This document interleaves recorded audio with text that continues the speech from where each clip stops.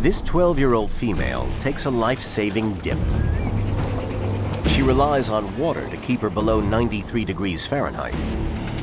If she overheats, she'll die. Only one in 100 make it to the age of five.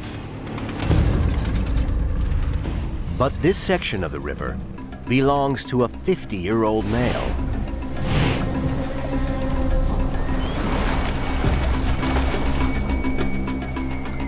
The king croc circles her, surprised she's had the nerve to come so close.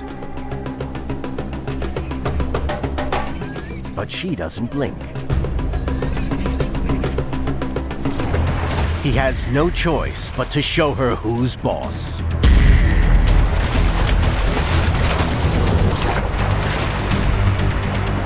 Crocs can snap their jaw around their victim in just 60 milliseconds.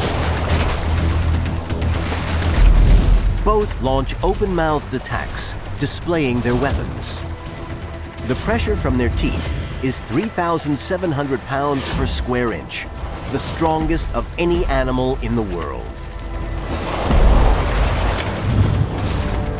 Their jaws can crush a turtle shell with ease. Their three-inch teeth are conical and designed for gripping, not shearing. They frequently fall out, but are replaced every 20 months. Crocs are specially equipped to keep from drowning during a fight. Flaps covering the nostrils and the back of the throat allow them to keep their mouths open and fight without swallowing water.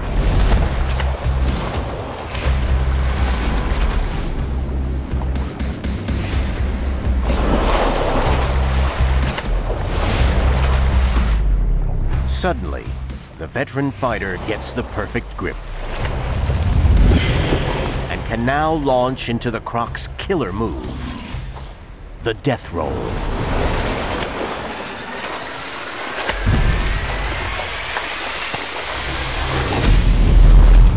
The saltwater crocodile's tail is the longest of any crocodile. Up to 11 feet, it's half its total body length and loaded with muscle. An engine for movement, it acts like a fifth limb. By twisting it from side to side, they create a rolling motion, spinning at one rotation per second.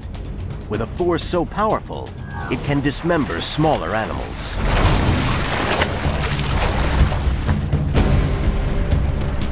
She's overwhelmed by the supersized champ. No match for his 2,500 pound weight. His next move, disable her main motor.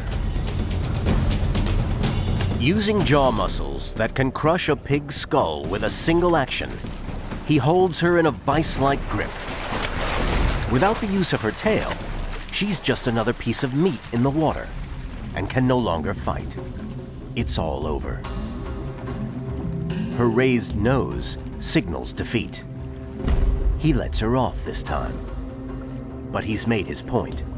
She'll have to take a dip in a river somewhere else.